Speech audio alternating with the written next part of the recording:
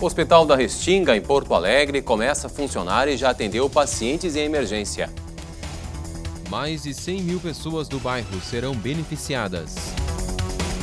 Programa Mais Médicos proporcionou aumento de mais de 40% nos exames pré-natal. Governo do Estado faz balanço da Copa do Mundo.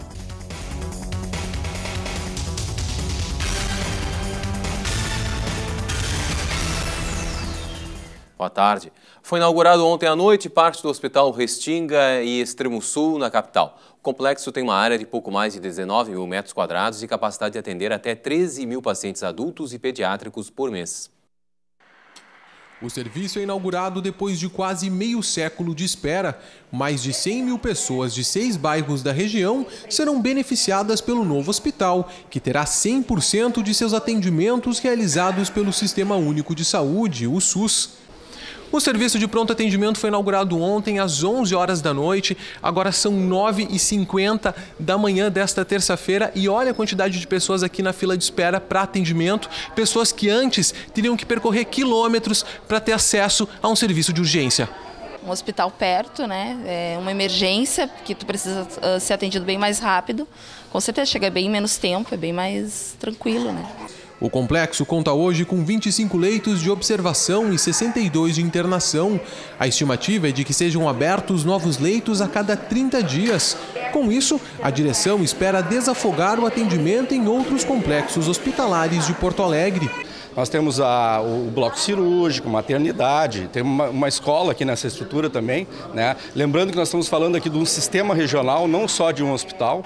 Os atendimentos acontecem por meio de um sistema de triagem, no qual uma pulseirinha entregue após uma avaliação preliminar determinará a prioridade do paciente. Ainda assim, o hospital deve ser o último recurso procurado pela comunidade.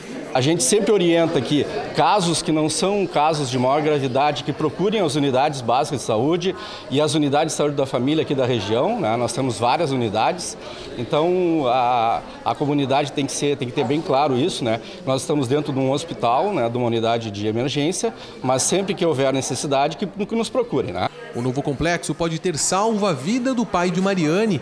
Aos primeiros sinais de falta de ar, a família correu para o hospital. Quando a gente chegou aqui, foi, a gente foi bem atendido, ele entrou direto, mas por motivo de não deixar ficar acompanhante, sendo que ele não conseguia nem falar e nem andar, então eu achei esse lado ruim, de não deixar acompanhante, mas fora isso foi tranquilo. O programa Mais Médicos já proporcionou um aumento de mais de 40% nos exames de atendimento pré-natal no Rio Grande do Sul.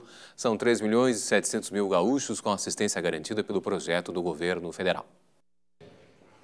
Os dados foram analisados hoje neste seminário. O evento reuniu prefeitos e secretários de saúde de mais de 60 cidades próximas à capital gaúcha.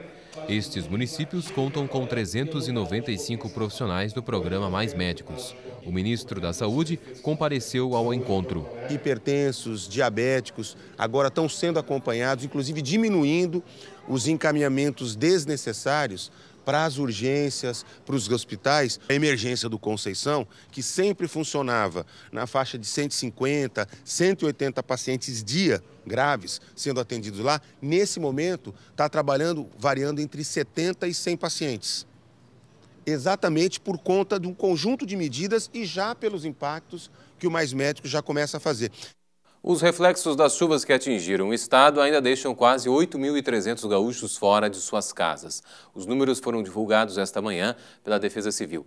Iraí e São Borja foram as cidades mais afetadas. 70 municípios das regiões Norte, Noroeste e Fronteira Oeste foram arrasados pelos efeitos da enxurrada. 19 decretaram situação de emergência. E 17 rodovias seguem bloqueadas ou parcialmente interditadas devido às chuvas. As interdições atingem principalmente as estradas das regiões Norte e Nordeste do estado. A BR-153, na altura de Marcelino Ramos, está totalmente bloqueada. Em Santa Maria, a BR-158 também está interditada na altura do quilômetro 317. Na região serrana, há restrições de acesso a algumas localidades de Nova Prata e Bento Gonçalves. Os motoristas podem obter informações sobre as condições das rodovias estaduais por telefone através do número 198. Para informações sobre as rodovias federais, o número é 191. Veja a seguir. Governo do Estado faz balanço positivo da Copa do Mundo.